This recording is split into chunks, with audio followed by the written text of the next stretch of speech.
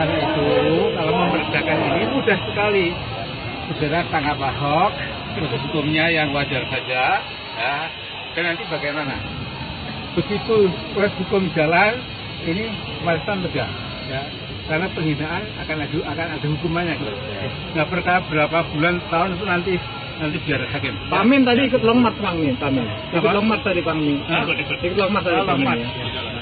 Jadi saya sudah hampir tiga tahun tapi saya suka jalan alhamdulillah. Pak Amin dia sudah mewakili semua uh, elemen apa apa untuk hari ini. Nah, paling enggak selama Muhammadiyah itu seperti ketua pemuda itu Mas Daniel itu sudah betul atau Aisyah atau NA ya, atau bahkan Haidar Nasir ya.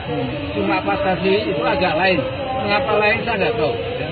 Ya, jadi saya saya kira sebagai Muhammadiyah sebagai ismi sebagai orang partai Islam sebagai apa mubalek KI sebagai profesor di UGM jadi saya datang ke sini bukan eh, cari saya sudah populer ya. untuk apa ya. jadi saya menghimbau Pak Jokowi jangan melindungi Ahok itu ya kalau Pak Jokowi melindungi Ahok saya khawatir dia akan bertindak ini masalah menghina agama ya.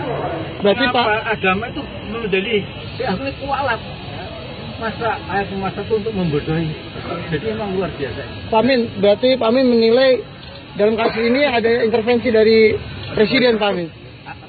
belum terjadi tapi sebenarnya dia belum mengatakan apa-apa ya.